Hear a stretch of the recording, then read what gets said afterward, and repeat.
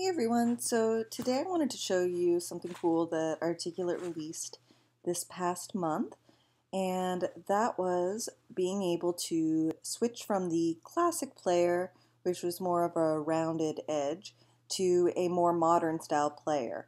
And so that one is kind of more of a, I guess, a flatter looking design.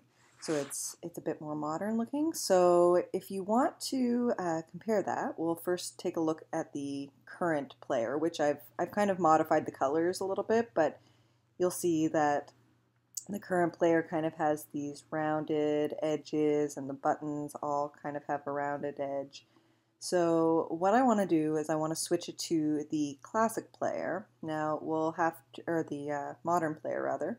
So to do this, we're going to go to player and then we're going to turn on, I'm just going to drag this over here because I want to see my colors. So we're going to go from classic to modern just using this player style drop down menu. And you'll see that it changes to the new uh, interface. And what we're going to do is select colors and effects.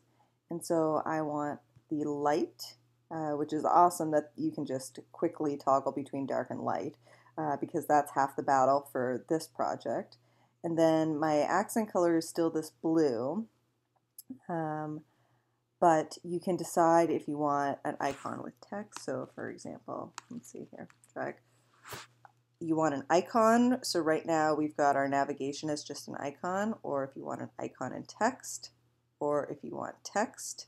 Now, this is awesome because a lot of people would customize their kind of um, interface by having these elements on the actual slide. So it would be part of your master slide instead of um, in the player. So it's awesome that we can just kind of choose what we want here.